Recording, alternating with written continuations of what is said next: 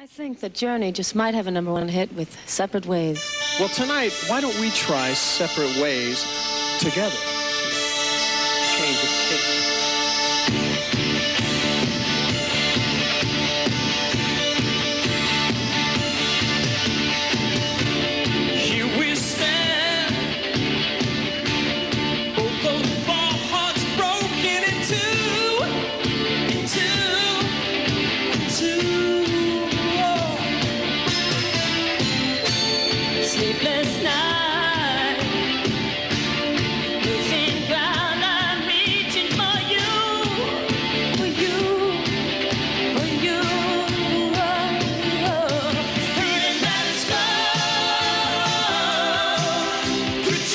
your mind.